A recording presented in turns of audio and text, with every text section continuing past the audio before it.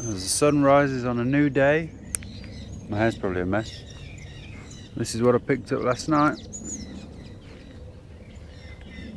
Fiat Doblo Adventure. Cool car, man. Cool car.